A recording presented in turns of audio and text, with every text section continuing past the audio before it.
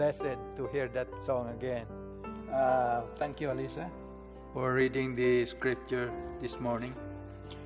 Uh, when Pastor Rossetti asked me if I could uh, take his pulpit today, I said yes, not knowing what topic to talk about.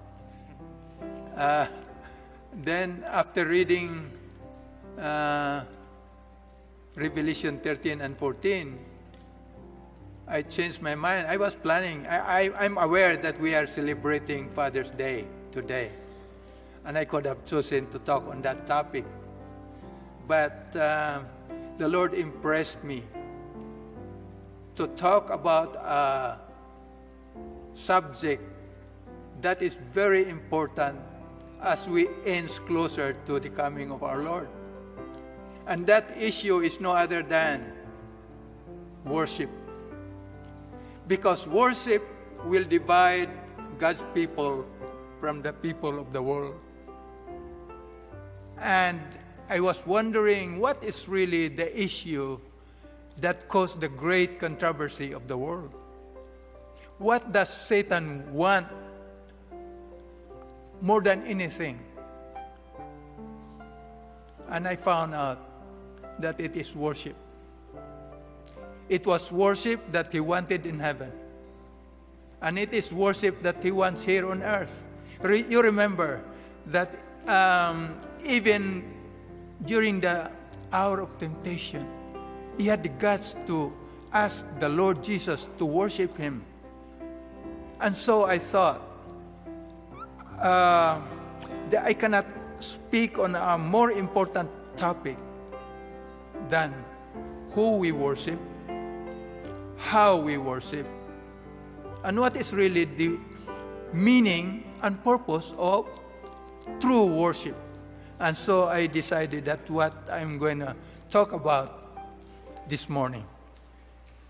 And uh, I'd like to help uh, ask the help of uh, somebody here if this will not work. Uh, oh, I thank you. It, it works.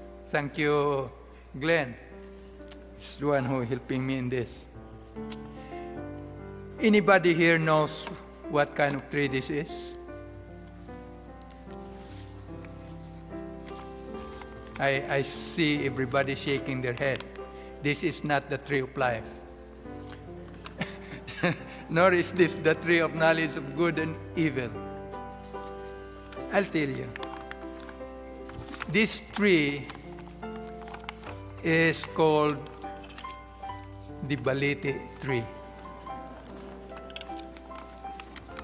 And uh, in the Philippines, in remote areas of the Philippines, this tree is believed to be the dwelling place of demons. And there are some people who come and worship this tree. When I saw people worshiping this tree and uh, they, they were bringing uh, their food offerings on the, at, at the base of this tree, I felt sorry for them. And rightly so, because when you worship a tree, just because the demons live in there, you are breaking God's law. The first commandment, thou shalt have no other gods before me. And then when I became a Seventh day Adventist, sometime in, when I was in college, I, I began to realize how fortunate I am that I, I was not worshiping this tree like these people. And I started praying, God, thank you. Thank you that I am not like these mountain people worshiping the tree.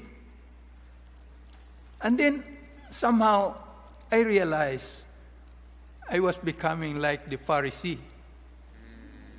I recall that in, in the, one of the parables of Jesus, and that's found in Luke chapter 18 about the Pharisee and the tax collector who went up to the temple and prayed. And the prayer of the Pharisee was like mine God, I thank you that I'm not like other people, extortionists, uh, unjust, adulterers. And Jesus said, This Pharisee went home unjustified because of the way he looked at himself. Right? And then I realized, Lord, forgive me that I felt that way, that I felt better than the mountain people who worship the tree. And then I said, I, I'm sorry, I felt that I am more righteous than them. I know I hurt your feelings, O Lord, because you love these people as much as you love me.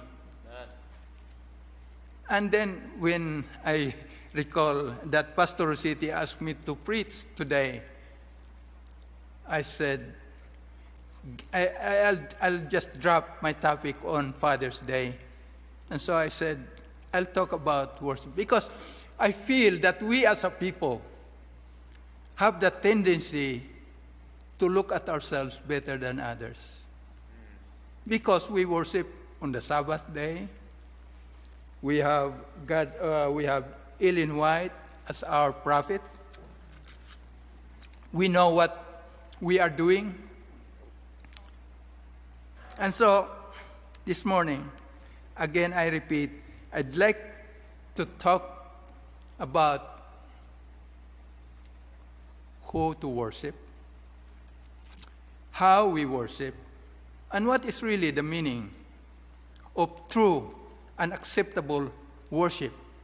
So, let me begin by saying that we as a people worship God in two different ways.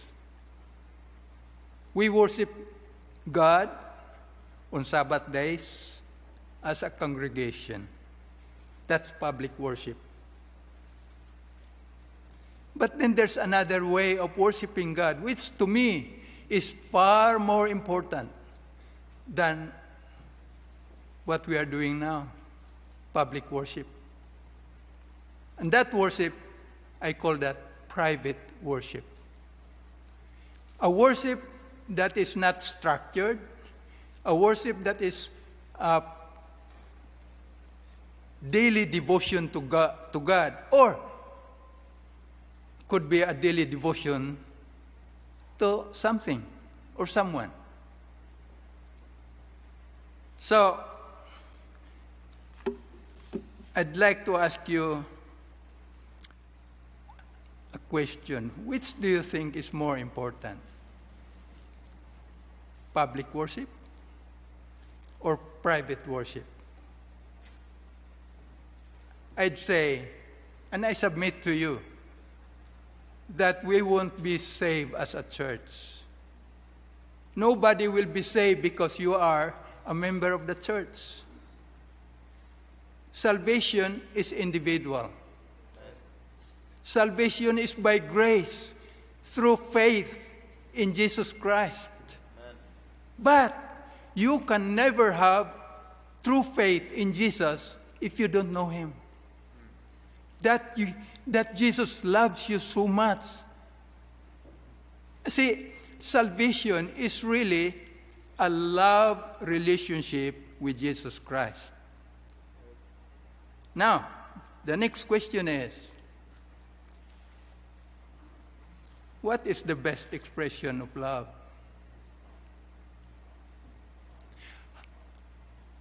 What is really, how do you prove that you love God?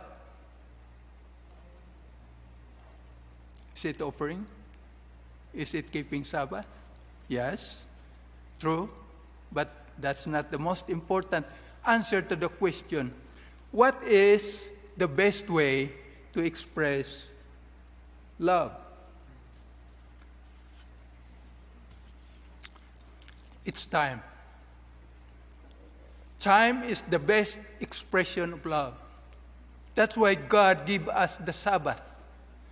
Because He loves us so much that He wants us to spend time with Him at least once a week. So the next question would be since love is the best expression, uh, uh, time, I'm sorry, time is the best expression of love. The next question is who gets most of your time? I mean, your free time. Is it God or you spend more time with your Facebook? Spend time on your TV? See, the thing is, here's the point I'm trying to make here is that whoever you spend more time with, that's your idol or your God.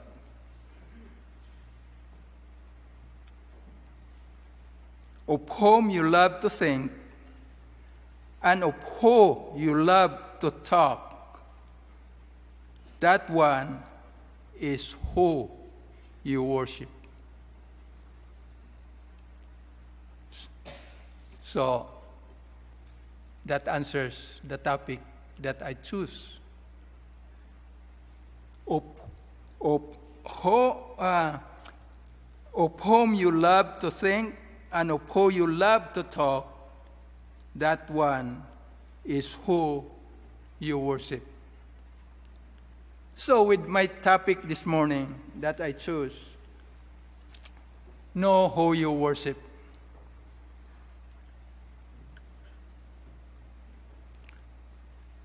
So, the devil doesn't really care. You worship things or you worship him directly because See, the point I'm, I'm, I'm saying here is the issue really in the great controversy is worship. That's really the, the what you call the core issue in the great controversy. He doesn't care whether you worship things or you worship Him as long as you don't worship God. You worship Him indirectly, like the people of the mountain, when you worship things. You worship Him indirectly when you spend more time with your toys. However, it's interesting that uh, when I consider the fact that in the thousands of years, Satan used three ways of forcing people to worship Him one, coercion, persecution, and deception. But in the case of the recent years, uh, I found out that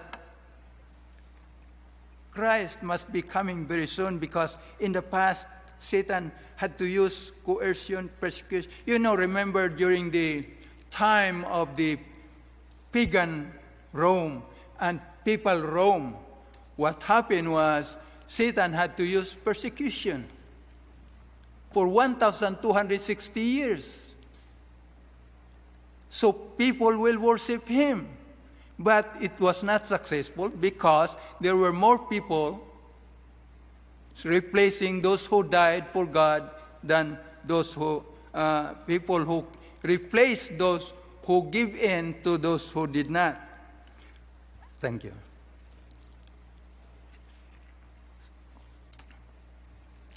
And in recent years, I don't know if you're aware of this, but um, uh, that's done. We know public worship and private worship.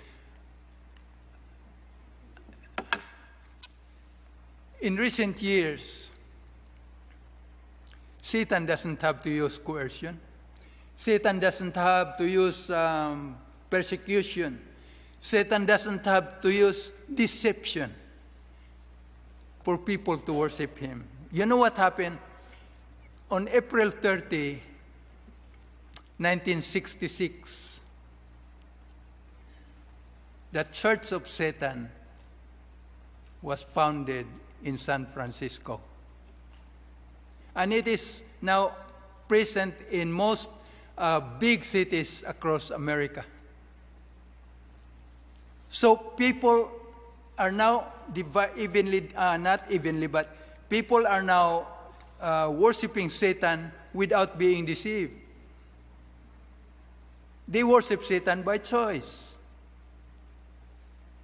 So, what I'm uh, giving here to you is that we have um, on both ends of the spectrum are two churches, one for Satan and one for God.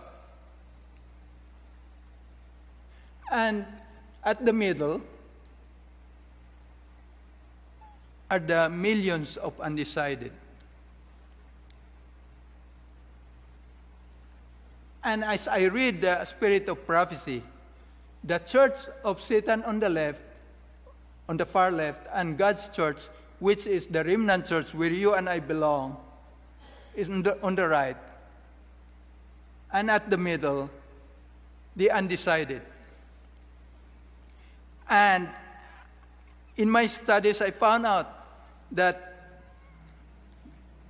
at the middle are many souls just waiting for the three angels' messages. And they will make a decision to, to join God's church. And the remainder will stay where they are and they belong to Satan's church. So then we go to the, the, the meaning of uh, true worship. Because, as I said before, we worship God formally, which is uh, in church, and we worship privately.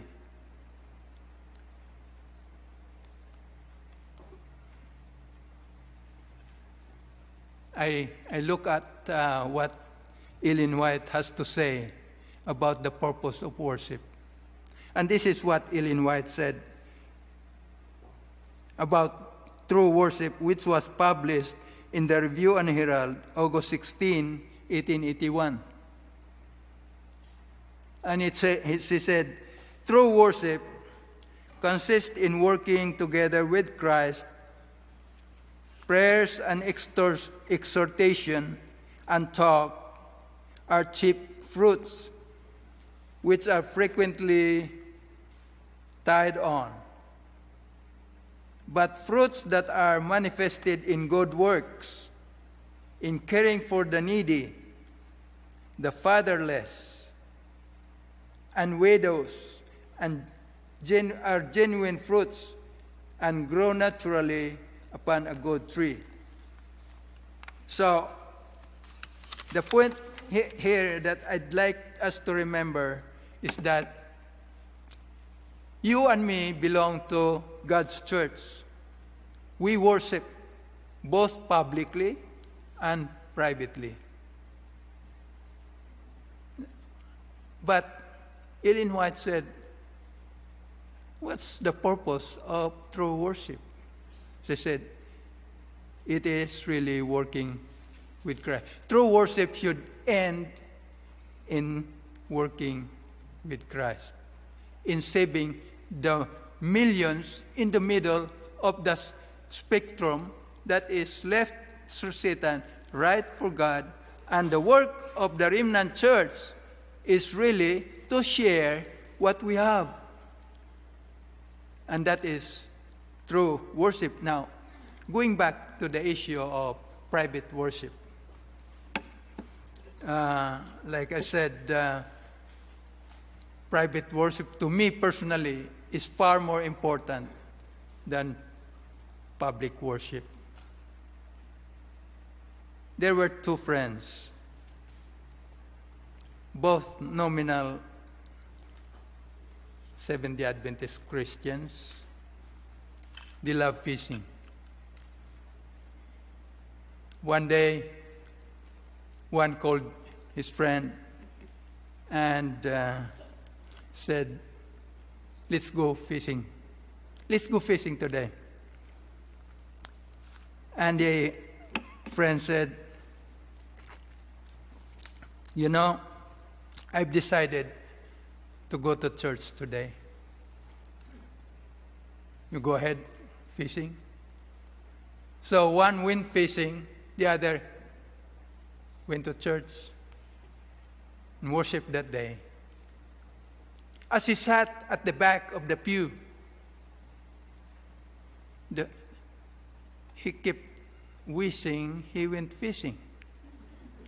Because uh, he was thinking, oh, I wonder what my friend is doing right now. He's fishing, and the sermon is boring. And he kept on thinking, oh, next time I'll really go fishing. Uh, this uh, church business is boring to me. On the other hand, his friend who went fishing kept thinking, I wish I went to church today. I, I don't have a catch, not even one. And so he said, next Sabbath, I'll go to church. So they met and they talked about it and said, Oh, how, how did you do? Oh, no cats. How was church? It's boring. anyway, I was thinking about these two friends. They were called nominal, Seventh day Adventist Christians. And the meaning of that word nominal, I, th- I think you know. It means in name only. Who worshiped that day?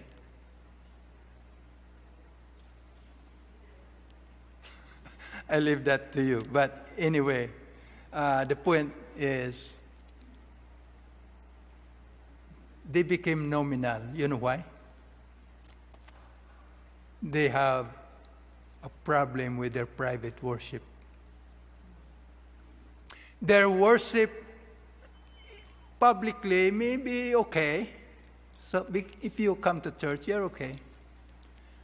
But when you worship, your private worship is suspect, it will show in how you conduct yourself in regards to keeping God's commandment. One was able to keep the Sabbath physically, but not spiritually, because his mind was away. He may be in church, but he was thinking of other things. That's why the, the, the study of God's Word became boring. On the other hand, his friend, who went fishing, may be present in spirit, but not physically. So they both failed to keep the Sabbath day holy. And so, therefore, their private worship is suspect. And so that reminds me one time when Jesus was in Judea and the leaders of the temple noticed that he was attracting more people because he was teaching not like other teachers. He was teaching the people with authority. And what happened was they started uh, trying to catch him by sending spies, you know, try to catch our Lord. And the Lord decided to go to Galilee. And you'll, you'll find that in John chapter 4. When he, de- when he decided to go to uh, Galilee, his style is different from the other Jewish people. When they go to Galilee, uh, when they go from Jerusalem to Galilee or, or back to Jerusalem, they always uh, go around Samaria because of prejudice. But the Lord, no. L- let's open our Bibles to the Gospel of John, chapter 4.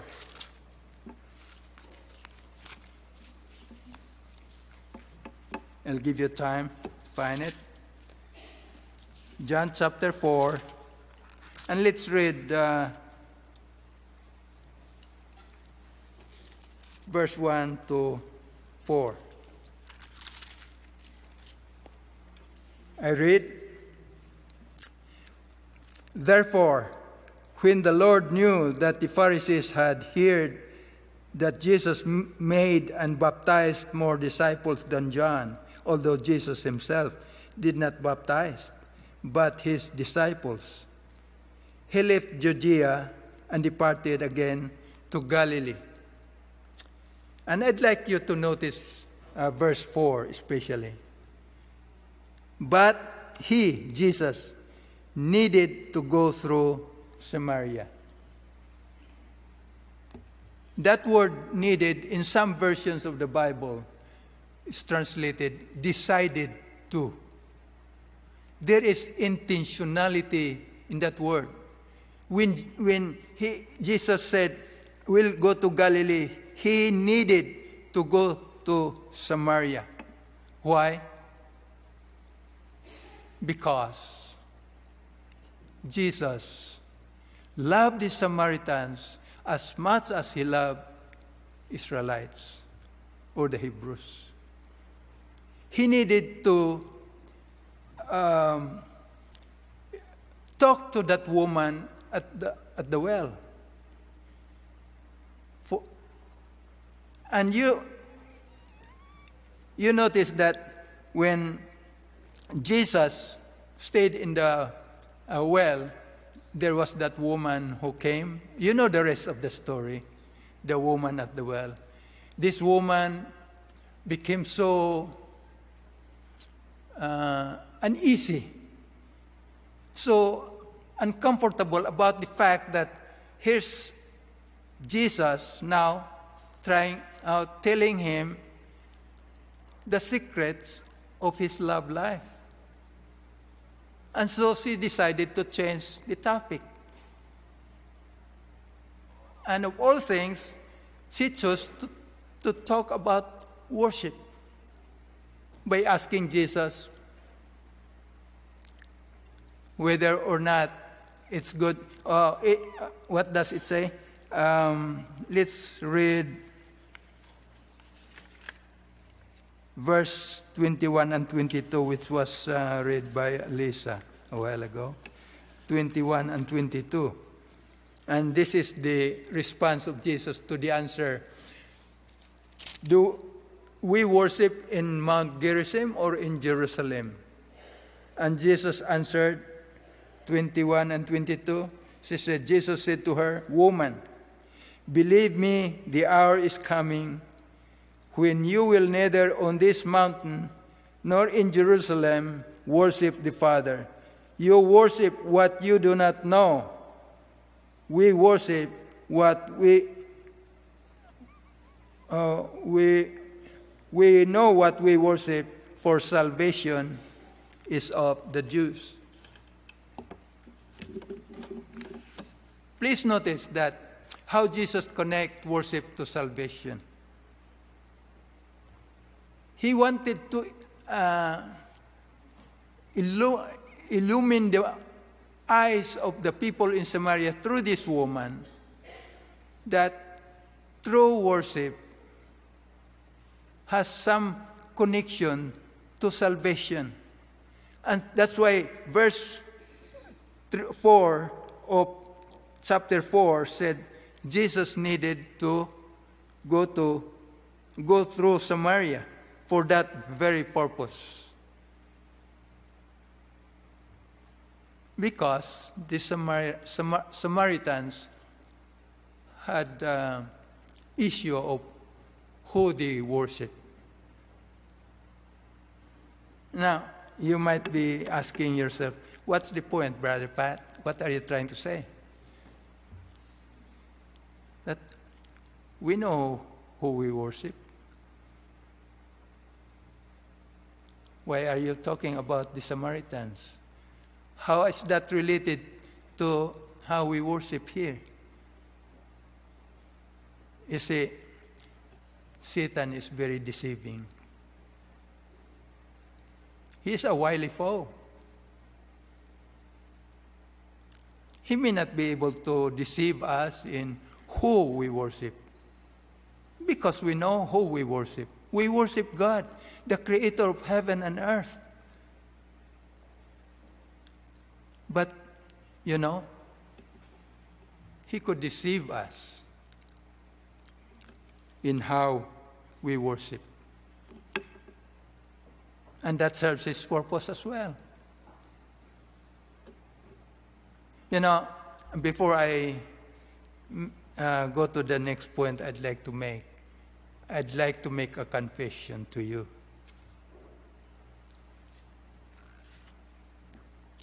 Like many of you, I am very thankful to God for Central Filipino Church, that I am a member of this church.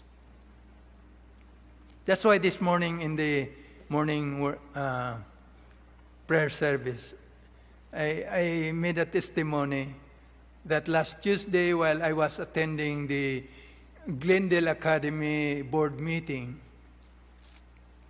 somebody did not notice me, oh, notice me for the first time because I've been absent for many months. And he asked me, Where are you from? Uh, I, uh, I said, I'm from Central Filipino Church.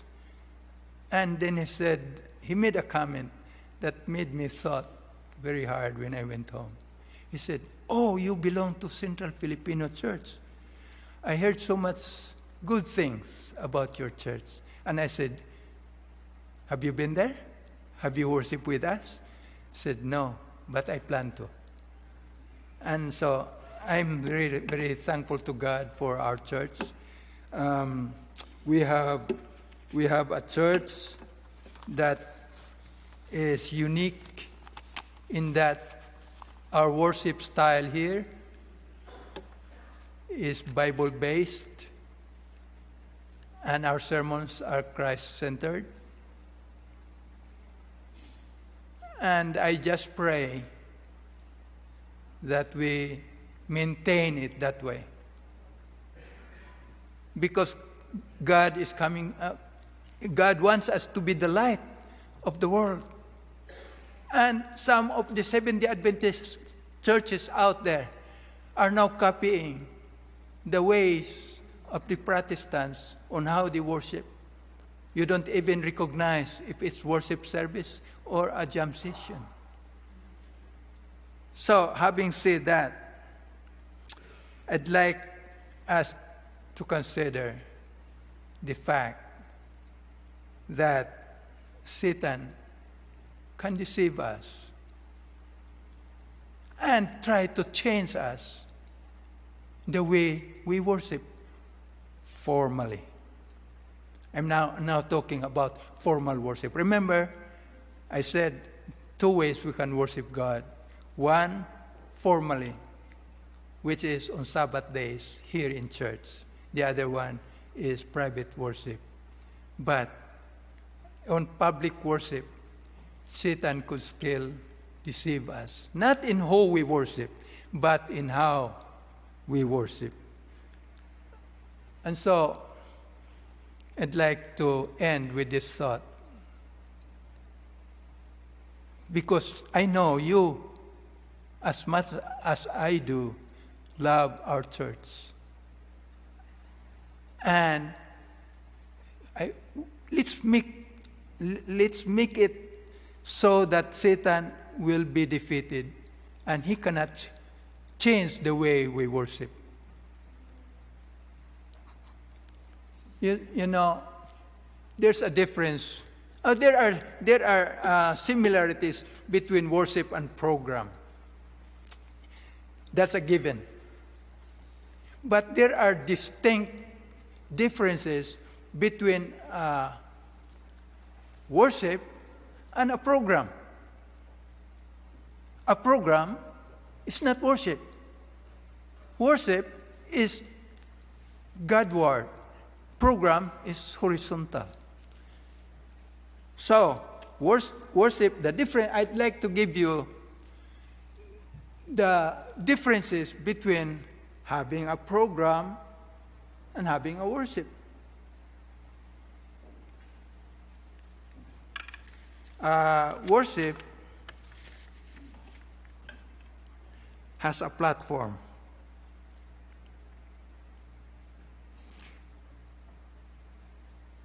No, did I say that? That's wrong. I'm glad you're awake. Worship has a platform. Program has a stage. Worship has a congregation. Program has sorry i missed it. That's okay. Okay let me repeat. Uh, worship has a platform program has a stage. Worship has participants. Program has performers. Worship has oh, also worship has a congregation. Worship, a uh, program has audience. Worship pays tribute to God alone.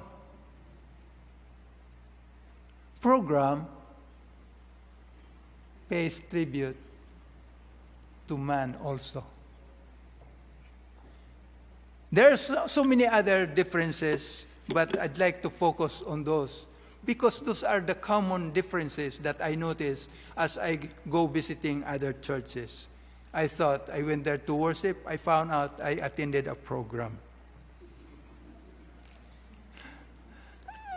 I, am not talking about our church, uh, but I'm just referring. So, in conclusion, uh, I'd like us to remember that the more we know who we worship, the more meaningful our worship experience shall be. And the more we know Christ, the more we long to see Him face to face. And at the end of our life's journey, we can, with uh, great assurance, like the Apostle Paul, I know whom I believe, and am persuaded that He is able to keep that which I've committed unto Him against that day. This video was recorded from Central Filipino Seventh day Adventist Church to help prepare a people for the soon return of Jesus Christ. If you would like to visit us and for more information, go to www.centralfilipino.org.